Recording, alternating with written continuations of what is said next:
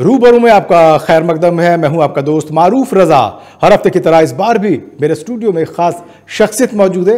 जी हाँ उनका नाम है जाकिर खान। अल्पसंख्यक आयोग के चेयरमैन हैं। बड़ी बेबाकी से, सफ़ाई से बात करते हैं। लोगों के बीच में खूब आते हैं, जाते हैं, मिलते हैं और बहुत सारी चीज़ों को बताते हैं, समझाते हैं कि ताकि अल्पसंख्यक समुदाय अपने आप को नीचा ना समझे, कमज़ोर ना समझे, असहाय ना समझे, काम करते रहते हैं। आइए मैं बुलाता हूँ आपको जाकिर खान से। आपका स्वागत है। जाकिर साहब ये कहा जाता है कि आपका जो आयोग है यानी अल्पसंख्यक आयोग ना तो उसके दांत है ना आत है तो किस काम का? देखिए दिल्ली अल्पसंख्यक आयोग और राष्ट्रीय अल्पसंख्यक आयोग जी। जो दिल्ली की जो अल्पसंख्यकों की जो समस्याएँ हैं जी। उन समस्याओं का समाधान कैसे किया जाए? हम्म। वो उस पर पूरी शक्तियाँ हैं योग के पास में। सबसे मुश्किल बात यह है कि उनके बारे में अल्पसंख्यक आयोग के बारे में जनता तक उसकी जानकारी की अभाव है। अच्छा। तो हमारा ये प्रयास है कि दिल्ली में हर गली में हर मोहल्ले में जहाँ अल्पसंख्यक समुदाय के लोग रहते हैं उनको अवगत कराया जाए कि अल्पसंख्यक आयोग बनाने का मकसद क्या है और अल्पसंख्यक आयोग है क्या। तो हम एन के माध्यम से जागरूकता कार्यक्रम या स्वयं आयोग जागरूकता कार्यक्रम करता है जिसमें हम ये बताते हैं कि जो दिल्ली सरकार द्वारा हम्म। और केंद्र सरकार द्वारा जो लाभकारी योजनाएँ हैं जनता के हित में अल्पसंख्यकों के हित में उसका फ़ायदा कैसे उठाया जाए हम्म। और कहीं पे अल्पसंख्यकों को ये लगता है कि उनको दबाया जा रहा है हम्म। उसमें चाहे सिख भाई हों चाहे उसमें मुस्लिम हो बुद्धिस्ट हो जैन हो पारसी हो या ईसाई हो जी तो हम उनको जागरूक करते हैं हम्म। कि आपके अधिकारों का कहीं पे हनन हो हम्म। तो कमीशन आपके लिए बना है उसका आप उसमें शिकायत दर्ज कराएँ और अल्पसंख्यक आयोग की सहायता लें ठीक है ये आपने बड़ी अच्छी बातें कही लेकिन अगर कोई व्यक्ति वाकई किसी चीज़ का शिकार हो जाता है तो क्या जो विभाग हैं जो प्रशासन है आपकी उन बातों को आपके उन आदेशों को या डायरेक्शन को संजीदगी से लेते हैं देखिए कानून है हिंदुस्तान का। जी। उस कानून के अंदर हर किसी को समान अधिकार दिए गए। हम्म, हम्म। उस कानून में का ना कोई हिंदू है ना मुसलमान है ना सिख है ना ईसाई है बुद्धिस्ट है जैन है ना पारसी है। क्योंकि कानून हिंदुस्तान के नागरिकों के लिए बना विशेष धर्म के लिए नहीं बना। जी। मगर कुछ अधिकार अल्पसंख्यकों को दिए गए हैं हम्म। कि हो सकता है कोई अल्पसंख्यक समुदाय का व्यक्ति कहीं रह रहा है वो अकेला है। हम्म। और हो सकता है कुछ ऐसे तत्व शरारती तत्व हमारे समाज में मौजूद होते हैं हम्म। जो हिंदू मुस्लिम एकता को भाईचारे को बिगाड़ना चाहते हैं। ऐसे सम, हर समाज में हर धर्म में ऐसे लोग होते हैं। तो उस दूरी को बनाने की कोशिश करते हैं पास लाने की कोशिश नहीं करते। तो वहाँ पे जो अल्पसंख्यक के लोग हैं वो ऐसे दबा कुचला या मायूस या डरे सहमे से नज़र आते हैं। तो वो शिकायतें जो सही मायने में उन अधिकारियों तक नहीं पहुँच पाती हैं जहाँ पे उनको न्याय मिल सके। जी। तो हम अल्पसंख्यक आयोग के पास ऐसी कोई शिकायत मिलती है या हम जागृत करते हैं तो वो खुले बेबाक तरीके से अपनी शिकायत हमें देते हैं। तो हम जब संबंधित अधिकारी से उससे बात करते हैं तो वो कहते हैं कि हम इस चीज़ का ज्ञान नहीं है तो हम उन पर उनको शिकायत को उन तक पहुँचाते हैं तो वो उस पर तुरंत समाधान करते हैं। क्योंकि कानून से बढ़कर कोई है ही नहीं। जी। और कानून के तहत में कोई भी कार्रवाई की जाएगी उसको तो न्याय मिलना सुनिश्चित है। आपसे पहले जितने भी यहाँ पर अध्यक्ष रहे चेयरमैन रहे वो बड़े सोफिस्टिकेटेड आते थे बड़े सोफिस्टिकेटेड एरिया से आते थे संभ्रांत वर्ग से आते थे। पहली बार आ, मैंने देखा क्योंकि मैं दिल्ली में ही पला बड़ा हूँ एक ऐसा व्यक्ति आया जो लोगों के बीच में से, हालाँकि आम आदमी पार्टी से ही है तो आम आदमी पार्टी ने एक आम आदमी को चेयरमैन बनाया। कितनी तब्दीली जाकिर खान के आने से इस आयोग में हुई? देखिए मैंने जब आयोग का कार्यभार संभाला, कोई भी व्यक्ति हो, कोई भी पिछला कार्यकाल किसी का भी नहीं, जो भी कोई बैठता है, वो वो ये कोशिश करता है कि बेहतर से बेहतर करे जी। तो कोई बैठने के बाद में ये नहीं सोचता कि मैं गलत करके जाऊँ। मगर उसमें जितनी एक सोच होती है अगर हमने पिछले रिकॉर्ड के देखें अगर किसी ने पिछले आयोग ने अच्छा करा तो हमारी ये कोशिश है उससे अच्छा हम बेहतर करके जाएँ। अगर पिछले आयोग से भी हम नीचे चले गए तो इसका मतलब हमारे अंदर कमी है। तो हम पिछले आयोगों के जितने चेयरमैन हमारे बन, बन के गए हैं उनकी जितनी भी अच्छी अच्छी चीज़ें ली हैं उनको हमने आयोग को पढ़ा और उसके उसमें लेके आए। और ये देखा कि ये उन्होंने पिछले आयोग ने कुछ करा और वो रुक गया है। या उनकी अच्छी स्कीमें थी वो रुक गई हैं। तो हमने उन स्कीमों को लेके आगे बढ़ाने की कोशिश की। और इसमें सबसे बड़ी उदारता सरकार की होती है। चाहे वो केंद्र सरकार हो चाहे वो राज्य सरकार हो जी। अगर आपने आयोग बनाया है तो आयोग को जो शक्तियाँ दी हैं तो जो आपकी लाभकारी योजनाएँ जैसे कि दिल्ली सरकार द्वारा एक फ़ीस वापसी योजना है कि जो भी कोई बच्चा प्राइवेट स्कूल में पढ़ता है उसमें सिख हो ईसाई हो बुद्धिस्ट हो जैन हो पारसी या मुस्लिम हो जी। उनके लिए सरकार अड़तालीस हज़ार रुपए तक सालाना वापस करती है बच्चे की। अच्छा। मगर उसकी जानकारी जनता को नहीं है स्कूलों में नहीं है। तो हमने ये कोशिश की कि हर स्कूलों में पहुँचे उनके प्रिंसिपल से बात करें और वहाँ पे पेरेंट्स से हमने मीटिंग करी और गली और मोहल्ले में जाके बताया कि आपके इलाके में कोई भी बच्चा प्राइवेट स्कूल में पढ़ता है तो अड़तालीस हज़ार रुपए तक सरकार वापस देती। और मुझे अचंबा ये हुआ कि स्कूल के प्रिंसिपल्स ने कहा कि हम ये सोचते थे कि ये सिर्फ़ मुसलमानों के लिए स्कीम है। तो हमें ये बड़ा आश्चर्य हो रहा है कि ये स्कीम तो जैनियों जैनिक जैन भाइयों के लिए भी है बुद्धिस्ट के लिए भी है पारसियों के लिए भी सिखों के लिए भी ईसाइयों के लिए भी है। जी, जी। तो अब हम इसका प्रचार जहाँ ऐसा होता है ना कि कुछ इलाके ऐसे हैं जहाँ पे हो सकता है किसी स्कूल में जैन समुदाय के बच्चे पढ़ते हो। हो सकता है किसी स्कूल के अंदर बुद्धिस्ट ज़्यादा हो हो सकता है किसी में सिख ज़्यादा हो हो। सकता है कहीं पे मुस्लिम ज़्यादा हो। मगर जब ये ये बात किसी के अंदर धारणा बैठ जाए कि ये स्कीम सिर्फ़ मुसलमानों के लिए तो उससे जो वंचित होते हैं कि सिख समुदाय के बच्चे वंचित रह सकते हैं ईसाई के रह सकते हैं बुद्धिस्ट के जैन और पारसियों के।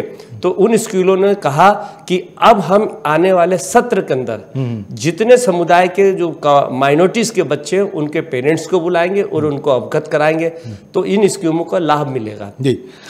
जाकिर खान एक नाम है ज़ाहिर सी बात है सियासत से आप जुड़े रहे एक ज़माने से कांग्रेस के साथ रहे शीला जी के बहुत करीबी रहे। अब आप आम आदमी पार्टी में हैं। क्यों कहा जाता है कि जो ऐसी पोस्टें हैं वो ओबलाइज करने के लिए लाया जाता है कि उस व्यक्ति को कहीं ना कहीं एक जगह दे दी जाए और वो हमारे साथ जुड़ जाए। क्या आपके साथ भी ऐसे हुआ? नहीं देखिए ये जो पोस्ट है संवैधानिक संस्था है और इसमें पोस्ट है। जी। इसका जो चेयरमैन होता है जो भी कोई सरकार होती है वो किसी को ऑबलाइज करने के लिए नहीं सरकार की नीयत होती है कि उसकी जो स्कीमें हैं जो उसका पैसा है जो माइनॉरिटीज़ के लिए है कि अगर कोई लोन माइनॉरिटीज़ के लोग अल्पसंख्यकों को लिए देना है तो वो लोन का पैसा सरकार के पास पड़ा रहता है। जब तक वो जनता तक नहीं पहुँचता उस पैसे का कोई महत्व नहीं रहता। तो सरकार की ये कोशिश होती है कि उनका पैसा जो उन्होंने लिया है उस फंड को जनता तक पहुँचाए। मगर जब आयोग के चेयरमैन बने तो उस चेयरमैन का कर्तव्य बनता है जितनी भी सरकार द्वारा लाभकारी योजनाएँ चलाई जा रही चाहे उसमें केंद्र सरकार की लाभकारी योजना चाहे वह राज्य सरकार की योजना उस पर ज़्यादा से ज़्यादा मेहनत करे गली मोहल्ले इलाकों में जाए और जो सरकार का पैसा है और जो सरकार ने जो पैसा दिया है जनता के हित में। वो आयोग के माध्यम से वो खर्च होना चाहिए। ठीक है। तो ये लेकिन लेकिन एक सवाल कहीं ना कहीं बीच में रह गया जिसको मैं पूछना चाह रहा हूँ और बाकी लोग भी जानना चाहते हैं अकलती तबके के लोग भी जानते हैं कि क्यों जाकिर खान? बहुत सारे लोग थे बहुत सारे दावेदार थे। ऐसा क्या जाकिर खान में था कि दिल्ली सरकार को सीएम के अरविंद केजरीवाल को आप ही पसंद आए? देखिए ये सरकार के, के सरकार जो होती है वो बहुत बड़ा उसमें तंत्र होता है। वो हर किसी जो भी किसी को पद देते हैं उसके बारे में बहुत अच्छी तरीके से समझते हैं और और उस पर बहुत सारी जानकारियाँ इकट्ठी करते हैं। किसी भी ऐसे व्यक्ति को कोई पद नहीं देता है कि जो वहाँ पे उसकी गरिमा को गिराए तो बड़ी सोच समझ के और इसके अंदर जो चुनाव किया जाता है। हो सकता है कि कुछ काबिलियत वहाँ पे सरकार को नज़र आई हो। माननीय मुख्यमंत्री श्री अरविंद केजरीवाल जी ने देखा हो। तो हो सकता है उसमें कहीं मैं ऐसा उनको लगा हो कि मैं चेयरमैन बनने के बाद में कुछ अच्छा कम्युनिटी के लिए या अल्पसंख्यकों के लिए कर सकता हूँ। तो ये उन्होंने चुनाव करा है एक विचारधारा में आप रहे, कांग्रेस की, लंबे समय तक रहे, और बहुत नज़दीक से आपने देखा, चुनाव भी आप लड़े, कई अलग अलग अहदों पर भी रहे। अब एक ये दूसरी विचारधारा है। आप अपनी मर्ज़ी से आए, या यूँ आपको लगा कि आपको आभास हो गया था कि नहीं, अब कांग्रेस का जो है, पतन शुरू हो गया है। इससे अच्छा है कि जो नया जहाज़ आ रहा है उसमें चढ़ लिया जाए। नहीं ऐसा राजनीति में कभी इस तरीके से होता नहीं है। आ, आप चाहे उसमें चुनाव जीतें या चुनाव लड़ें या आप कहीं से किसी भी राज्यसभा में नॉमिनेट हो या एमएलसी बने या किसी का चेयरमैन बने तो आपकी एक मंशा होती है कि आपको कार्य करने की जगह मिले। और अगर कहीं आपको बिल्कुल निष्पक्ष छोड़ दिया जाए और आपसे कोई कार्य ना कराया जाए आपको बिल्कुल ऐसा ठंडे तरीके से फ्रीज कर साइड लाइन कर दिया जाए। तो जिस इंसान के अंदर गर्माहट होगी काम करने की ललक होगी और वो समाज के प्रति वफादार होगा आप कितना भी बर्फ़ के अंदर ठंडा करके उसको डाल दें, फ्रीज कर दें, मगर उसकी गर्माहट उस फ्रीज़र में रहने नहीं देगी। वो बाहर ज़रूर निकलेगा और जहाँ काम करने का मौका मिले, समाज के हित में फैसले लिए जाएँ या आप यूँ सोचिए समाज के लिए उदारता दिखाई जाए और ऐसी जगह की तलाश में हर वो इंसान भटकता है जहाँ पर जिससे समाज के लिए कार्य करना हो। वाकई, जाकिर खान, बहुत इस सर्दी के मौसम में भी गर्मी लग रही है। मैं तो अचकन पहने बैठा हूँ, लेकिन वो आप बंडी में है। ज़ाहिर सी बात है, ज़मीन से जुड़ा नेता अक्सर यही करता है, लेकिन बहुत सारी चीज़ें ज़मीन पे चल रही है। राहुल गांधी भी चल रहे हैं, और प्रधानमंत्री नरेंद्र मोदी ने जो है स्नेह यात्राएँ शुरू कर दी है। अल्पसंख्यकों को पसमानदा को लेकर के बहुत सारी चीज़ें शुरू हो गई है। उनका कितना असर पड़ेगा और किस तरीके से काउंटर करेंगे? जाकिर खान, अभी बात करूँगा, लेता छोटा सा ब्रेक। ब्रेक के बाद फिर लौटूँगा और रूबरू में दोबारा लौटूँगा। गोंद स्याह, जोड़ों के दर्द का प्राकृतिक इलाज। गोंद मोरिंगा, चमकती त्वचा और सुंदर घने बालों का राज।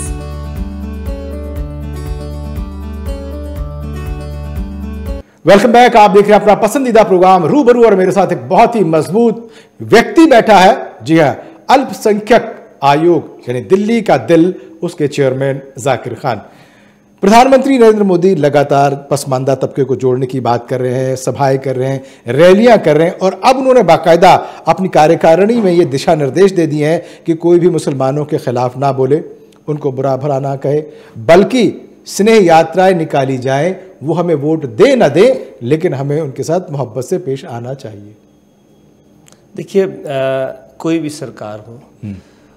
और वो सरकार का सबसे बड़ा परम कर्तव्य होता है कि जो देश के अंदर जनता हो उसके हित में कार्य करे सरकार पार्टी तो हो सकती है किसी विशेष समुदाय की बात करे हम्म।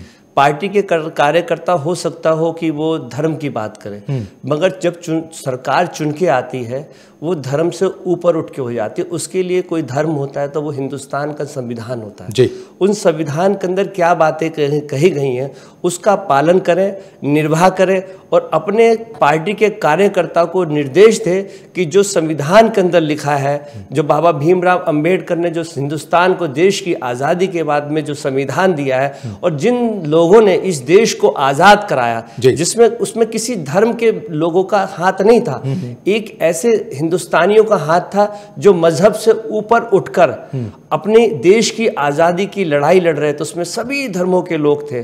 और उसमें हिंदू थे मुस्लिम थे सिख थे ईसाई थे एक कोई एक नारा था कि इनकलाब जिंदाबाद तो एक बंदे मातरम का भी नारा था। तो एक तरफ़ उर्दू में नारे लग रहे थे और एक तरफ़ हिंदी के नारे लग रहे थे। मगर सब लोगों ने इस नारों को अपनाया और देश को आज़ाद करा। हम्म। जब देश आज़ाद हुआ तो उसके अंदर ऐसा संविधान बना के रखा जहाँ सभी धर्मों के लोगों को इकट्ठा किया गया गुलदस्ता बनाया गया जिसमें कोई मज़हब की दीवार नहीं थी तो जब वो संविधान आया तो सरकार जब चुनी गई उस संविधान की हम कसम लेते हैं कि जब भी हम सरकार के अंदर आएँगे हमारे लिए कुछ नहीं होगा हमारे लिए सिर्फ़ हिंदुस्तान की जनता होगी और जनता के हित में हम कार्य करेंगे हम्म। तो अब सरकार को ये लगता है कि कहीं ना कहीं मैं समझता हूँ कि हमारे कार्यकर्ता कहीं ना कहीं ऐसी द्वेष भावना फैला रहे जिससे कि हम्म। इस हिंदुस्तान के अंदर भोले भाले जो लोग रह रहे हैं हम्म। वो कहीं ना कहीं प्रताड़ित हो रहे हैं तो आपको भी लगता है कि अभी जो हवा है जो फिजा है उस फिजा में जो है नफरत का जहर घोलने की कोशिश की जा रही है।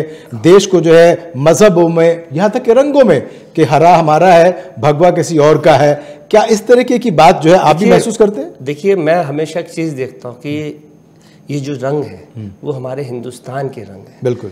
अगर हम ऊपर देखें तो भगवा है वो कलर हमारे भारतीय जनता में वो हमारा अपना कलर है। अगर बीच में है तो शांति का प्रतीक का कलर है वो हमारा है। हम्म। बीच में अगर अशोक का चक्र है वो नीला रंग भी हमारा है। अगर नीचे हरा रंग है वो हिंदुस्तान का रंग है। तो अगर हम इस मज़हब के नाम पे अगर धर्मों के नाम पर अगर हम अगर उस झंडे के रंगों को बांट देंगे तो मैं समझता हूँ कि वो झंडा हमारा मुकम्मल नहीं होगा। अगर हमारे झंडे का तिरंगा रंग है तो उसमें मुसलमानों का प्रिय रंग भी उस झंडे के अंदर ऑरेंज कलर है भगवा कलर है और नीचे भी हिंदू भाइयों के लिए उतना ही प्यारा रंग है हरा जितना हमारे झंडे के अंदर। तो हम तो उस रंग को हिंदुस्तान के तिरंगे के झंडे की तरफ़ देखते हैं जिस तरीके से हमारे फौज के जवान उस तिरंगे के झंडे को सलाम करते हैं उसमें हर रंग उसके अंदर होता है। बिल्कुल। उस रंगों को हम सलाम करते हैं। बिल्कुल।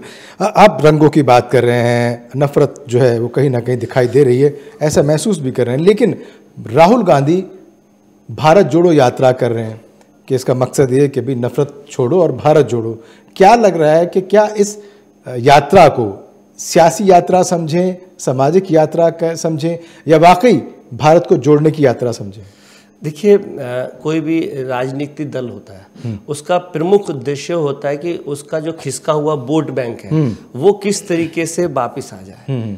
तो वो वोट बैंक को किस तरीके से अपनी तरफ़ ला सकते हैं वो जनता को किस तरीके से अपने पास ला सकते हैं। उनका जो एक प्रयास है वो अपनी राजनीति पार्टी को बचाने का प्रयास है। तो वो जो राजनीतिक पार्टियों का बचाने का जो उनका अपना उद्देश्य है वो उद्देश्य अपना पूरा कर रहे हैं। अच्छा वो उद्देश्य पूरा कर रहे हैं। लेकिन अभी लगातार अब जैसे कि मेयर के चुनाव को लेकर के हम बात करें चुनाव होते होते रह गया फिर टल गया जिस तरीके की चीज़ें वहाँ पर वाबिला दिखाई दिया समझ में आया? क्या लगता है एक पार्टी जो जीत करके आई है एक क्लियर कट मैंडेट लेके आई है उसके बाद भी मेयर का चुनाव जो है वो इस तरीके से अधर में लटका हुआ है? देखिए ये संविधान के अनुरूप ही चुनाव होते हैं कि हमारा जो कानून क्या कहता है? एमसीडी का कानून क्या कहता? है उस प्रक्रिया के तहत ही कार्रवाई होगी। उस प्रक्रिया के बाहर कोई नहीं जा सकता। है तो ये इस तरीके से उथल पुथल है।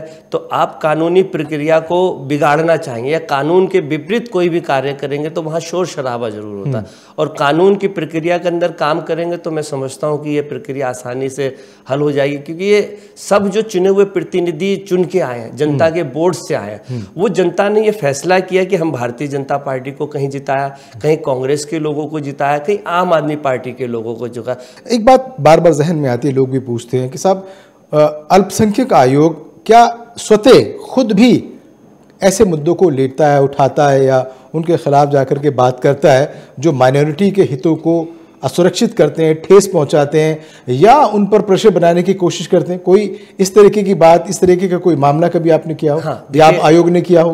देखिए ऐसे बहुत सारे आयोग के समक्ष अ, बातें आती हैं हम जो सो सो मोटो नोटिस लेते हैं जिसके अंदर कानून से बढ़कर कोई भी नहीं है।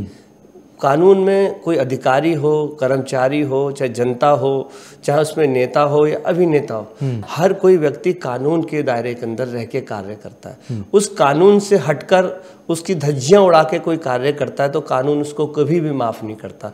तो हमें कहीं लगता है कि कोई कानून के खिलाफ कार्रवाई की गई है, कानून के विरुद्ध किसी व्यक्ति ने, विशेष व्यक्ति के खिलाफ कार्रवाई की है, उसका न्याय उसको नहीं मिल रहा। तो आयोग उसमें हस्तक्षेप करता और उसको न्याय दिलाने की पूरी कोशिश करता अच्छा कुल मिला के एज ए ले मैन एक आम आदमी जानना चाहता है कि अल्पसंख्यक आयोग माइनॉरिटी कमीशन और माइनॉरिटी चेयरमैन को उससे क्या क्या मिल सकता है? क्या क्या आप देते हैं दिल्ली के लोगों को दिल्ली की माइनॉरिटी को? सबसे बड़ा उद्देश्य हमारा ये रहता है कि जहाँ माइनॉरिटीज़ के लोग रहते हैं वो कहीं विकास से तो वंचित नहीं है। अगर मानिए कहीं पे माइनॉरिटी के लोग रह रहे हैं वहाँ पे कोई स्कूल नहीं है प्राइमरी स्कूल तो आयोग उसको संज्ञान में लेता सरकार से सिफारिश करती है कि यहाँ पे माइनॉरिटीज़ के लोग रहते हैं यहाँ हमारे सिख भाई रहते हैं जैन भाई रहते हैं यहाँ इनके लिए एक स्कूल की आवश्यकता है। तो आयोग उसमें एक रिपोर्ट बना के सरकार को पेश करती है। तो सरकार उसको संज्ञान में लेके वहाँ पे अ, कोशिश करती है कि अ, और सरकार का कर्तव्य भी बन जाता है कि उसने तो सुविधाएँ देनी है। तो हो सकता है कि वहाँ पे वो उसकी जानकारी में ना आए सरकार में। तो ऐसी ऐसी कोई भी चीज़ें होती हैं जहाँ विकास की ज़रूरत हो जहाँ शिक्षा की ज़रूरत हो, जहाँ स्वास्थ्य की ज़रूरत हो, जहाँ पेंशन की ज़रूरत हो, या दो सरकार की जो लाभकारी योजना है जिसमें चाहे स्कॉलरशिप की या योजना, बाबा भीमराव अंबेडकर प्रतिभा योजना हो तो ये हमारी ये कोशिश रहती है कि जो सरकार द्वारा, दिल्ली सरकार द्वारा जो भी कोई लाभकारी योजना हो, या केंद्र सरकार द्वारा कोई भी लाभकारी योजना, उसका जनता तक हम कैसे पहुँचाए, ये कमीशन का पूर्ण रूप से उद्देश्य है। जी, कमीशन चीज़ें कर रहा है, कमीशन जो है, अल्पसंख्यक के जो लोग हैं, उनके हितों की रक्षा कर रहा है, लेकिन ये कहीं ना कहीं समझ में आता है कि कुल मिलाकर के जो कमीशन होता है होता तो संविधानिक है? लेकिन क्योंकि उस पर बैठा हुआ एक व्यक्ति जो है, वो एक पार्टी विशेष से आता है तो क्या इन कामों को करते हुए, और जब लोग उनके पास आते हैं तो उस वक्त वो ध्यान में रखता है कि जो व्यक्ति मेरे पास आ रहा है, माइनॉरिटी का तो है, लेकिन कांग्रेस या बीजेपी का तो नहीं? देखिए हम हमारी ये देखिए जब कोई अल्पसंख्यक आयोग है वो निष्पक्ष है किसी राजनीति के दल के प्रभाव से के अंदर नहीं रहता। ये आयोग का कर्तव्य होता है कि आप निष्पक्ष होकर कार्य करें। उसमें चाहे जिस जिस तरीके से कोई व्यक्ति चुनाव जीतता उसके लिए कोई भी व्यक्ति मायने नहीं रखता। उसकी पार्टी का या विपक्ष का है।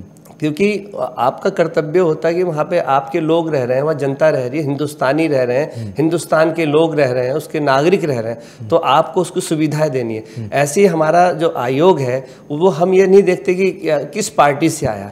तो वहाँ पे तो एक शिकायत करता आया तो शिकायत करता किसी पार्टी का नहीं होता किसी धर्म का नहीं होता वो तो एक प्रताड़ित होता है। उस प्रताड़ित व्यक्ति को आप न्याय कैसे दिलाएँगे? ये आपका मुख्य उद्देश्य होता है। माइनॉरिटी हमेशा सक्षम कमेटी कमेटी देखी हमने रंगनाथ मिश्रा कमेटी को देखा उसमें साफ़ कहा गया कि मुसलमानों की ख़ास करके जो हालत है वो दलितों से बदतर है तो इस दरिद्रता को बदतरता को दूर करने के लिए कमीशन क्या करता है देखिए ये जो सच्चर कमेटी की रिपोर्ट है हमने भी पढ़ा उसके अंदर हम्म। उसमें स्पष्ट रूप से कहा गया है कि माइनॉरिटी के जो हालात हैं हम्म। तो माइनॉरिटी से मुराद आप उसमें मुस्लिम को विशेष रूप से हम्म। करना चाहते हैं उसमें भी मेंशन है विशेष तौर से। या फिर आप सिखों की बात कर रहे हैं मैं मुसलमानों की बात कर रहा हूँ। हाँ तो जब माइनॉरिटी शब्द या अल्पसंख्यक शब्द आ जाता है तो उसमें सभी छह धर्म सम्मिलित हो जाते हैं। ठीक है। तो आपकी विशेष रूप से जो टिप्पणी है वो मुसलमानों को लेकर के। हाँ तो उसमें देखिए देश की आज़ादी के बाद में इसमें दो राय नहीं है कि हिंदुस्तान का मुसलमान पिछड़ गया है। हम्म। मुख्य धारा से वो टूट गया है। हम्म। और उस मुख्य धारा से जब टूटा है तो जब भी तो इतने मुख्य धारा से टूटने के बाद में सरकार को ये लगा कि ये जो मुसलमान है वो कहीं ना कहीं इसके अंदर पिछड़ापन आ रहा है। हम्म। इसके अंदर कहीं ना कहीं इस मुसलमानों के साथ अन्याय हो रहा है। हम्म। उस अन्याय के अंदर उसको न्याय कैसे दिलाया जाए तभी तो पचास वर्षों बाद हम्म। अल्पसंख्यक आयोग का गठन दिल्ली में हुआ। तो अगर ये आयोग का गठन क्यों होता है? अगर महिला आयोग का गठन हुआ है तो इसका मतलब कहीं ना कहीं महिलाओं के साथ प्रताड़ना हो रही थी महिलाओं को न्याय नहीं मिल रहा। तो इसलिए वुमेन कमीशन का गठन हुआ।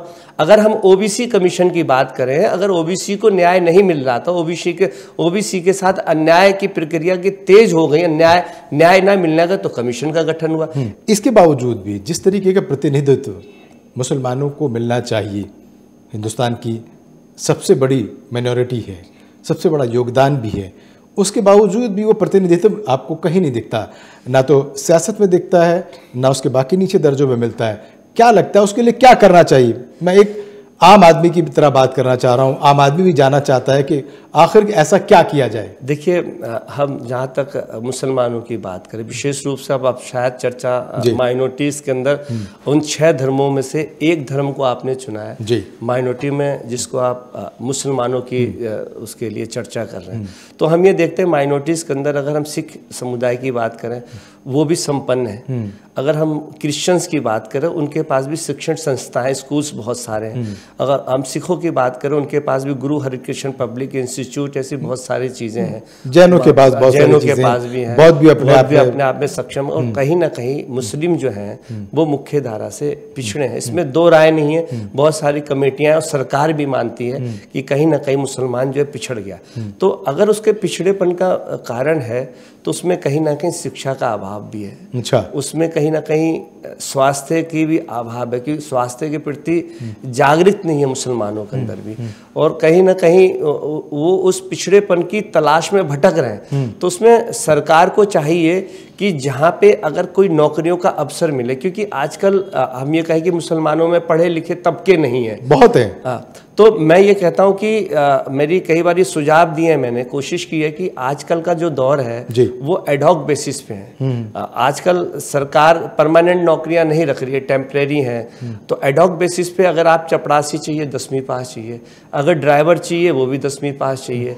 अगर आप कंप्यूटर ऑपरेटर चाहिए तो वो बारहवीं पास चाहिए। अगर माली की नौकरी करनी है तो वो भी बारहवीं पास चाहिए। तो सरकार के अंदर कोई आईएएस हो आईपीएस हो या गजस्टेड ऑफिसर हो उसके नीचे बहुत सारे लोग हैं जो फोर्थ क्लास की नौकरियाँ करते हैं। तो मैं समझता हूँ कि सरकार को चाहिए कि जो फोर्थ क्लास की नौकरियाँ चाहे उसमें माली की नौकरी हो ड्राइवर की नौकरी हो चाहे उसमें आपको पानी पिलाने की जॉब हो या डाटा ऑपरेटर की जॉब हो उसके अंदर ना सरकार को खुले मन से निष्पक्ष रूप से ये देखना चाहिए कि किसी हॉस्पिटल के अंदर सौ वैकेंसियाँ हो तो उसमें मुस्लिम का प्रतिनिधित्व कितना है। तो मैंने जितनी कोशिश की जानने की कोशिश की है कि आप जो है इन नौकरियों के अंदर आपने दसवीं पास कर ली बारहवीं पास कर ली तो आप इंटरव्यू पे क्यों नहीं जाते? अप्लाई तो अप्लाई क्यों नहीं करते? वो कहता है कि हमें पता ही नहीं लगता। तो मैंने जब उनको ज़्यादा खंगालने की कोशिश की तो मुसलमानों के जो बच्चे हैं वह स्वयं रोज़गार की तरफ़ ज़्यादा है। अगर उन्हें ये लगता है कि मैं आ, आ, फल फ्रूट की रेडी बेच के पंद्रह हज़ार रुपये या बीस हज़ार रुपये महीने कमा सकता हूँ सब्ज़ी की ठेली लगा के बीस हज़ार रुपये कमा सकता हूँ या रिक्शा चला के मैं पंद्रह हज़ार रुपये कमा सकता हूँ तो वो कहते हैं कि हम अपनी मन के मर्ज़ी के मालिक हैं। तो हम अपनी मर, मन की मर्ज़ी के मुताबिक कार्य करना चाहते हैं तो हम किसी के बंधन में बंधना नहीं चाहते हम्म। तो ये सोच के मुसलमानों के नौजवान को बदलनी पड़ेगी ठीक है वो ये भूल जाते हैं कि अगर आप रोज़गार करेंगे हम्म। अगर आप किसी या नौकरी करेंगे तो आप नौ बजे जाएँगे पाँच बजे छुट्टी मिलेगी हम्म। मगर आप अपना कहीं रेडी लगाएँगे पटरी लगाएँगे तो आपकी उम्र सीमा जो है रिटायरमेंट की अगर सरकारी जगह पे है तो तिरसठ साल है बासठ तिरसठ और अगर आप अपना मेहनत मजदूरी करते हैं, उसकी रिटायरमेंट की उम्र 45 से 50 साल है। अगर 45 और 50 के बीच में अगर मुसलमान का आदमी रिटायर होगा तो वह निश्चित रूप से अपने बच्चे को मजदूरी पे लगाएगा। तो मैं कहता हूँ कि आप कोशिश करो सरकार दरिया दिल होती है। कोई भी इंसान मतलब किसी भी समुदाय को पीछे धकेलना नहीं चाहते। मगर आपको इंटरव्यू की लाइन पे लगना पड़ेगा हर नौजवान को अपनी डिग्री को हाथ में लेके। आपको जिस तरीके से हमारे हिंदू भाई के नौ, लड़के नौजवान अपने लिए भटकते हैं इंटरव्यू देते हैं। ये नहीं कि वो 130 करोड़ है तो हम 15-16 करोड़ है तो आप ये सोचिए कि उसमें से एक बहुत बड़ा तबका नौजवानों का हिंदू भाइयों का भी है। वो भी तो रोज़गार के लिए भटक रहे हैं। ठीक है। तो नौजवान नौजवान मुस्लिम लड़कों को भी अपनी डिग्रियाँ और अपने सर्टिफिकेट लेके लाइनों में लगना पड़ेगा इंटरव्यू देना पड़ेगा तभी इसमें सफलता मिल सकती है। अगली सफलता आपके लिए क्या होगी? चेयरमैन तो आप बन गए अगली बार दूसरी पारी चेयरमैन की खेलेंगे या किसी और रूप में जाएँगे? देखिए आप मेहनत करते रहिए। ये ज़रूरी नहीं है कि आपकी मेहनत सिर्फ़ पदों पे रह के हो सकती है। पद एक होता है मेहनत करने वाले हज़ारों होते हैं। ठीक है। उस हज़ारों में से एक चुना जाता है। तो इसका मतलब नहीं है कि उस उन हज़ारों में से एक चुन जाए तो बाकी हज़ार लोगों में से घर पे बैठ जाएँगे। हम यहाँ से हटेंगे तो इससे भी ज़्यादा कोशिश करेंगे कि लोगों को लिए काम करें लोगों के बीच में रहें। यही एक सच्चे सामाजिक कार्यकर्ता का कर्तव्य होता है और कोई रिटायरमेंट की उम्र और सीमा नहीं होती मानसिकता आपकी हमेशा अच्छी रहनी चाहिए और ऐसी रहनी चाहिए कि जिसमें आप धर्म का चश्मा ना लगाएँ। क्या बात है। बहुत शुक्रिया चेयरमैन साहब आपने बहुत बेशकीमती बात की इसकी आज सख्त ज़रूरत है। वक्त देने के लिए आपका बहुत शुक्रिया। तो ये थे दिल्ली अल्पसंख्यक आयोग के चेयरमैन जाकिर खान। उनके इरादे बुलंद है। मंजिल की तरफ़ उनकी नज़र है। जो भी कुछ मिलेगा, बखूबी निभाने की उनकी अपनी जो है मंशा है। सरकार क्या देगी, पार्टी क्या देगी और लोग क्या चाहेंगे, वो सब जो है भविष्य में भविष्य में मेरे साथ एक नया मेहमान जुड़ेगा, उसके साथ मैं रूबरू हूँगा और कुछ नए सवाल लूँगा। तब तक मुझे और मेरी पूरी टीम को दीजिए इजाज़त, अपना रखें ख्याल और देखते रहिए न्यूज़ वर्ल्ड इंडिया।